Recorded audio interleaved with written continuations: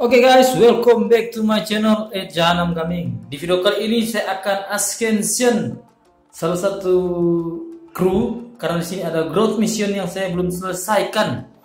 Tinggal sekali menyelesaikan sampai bintang 10.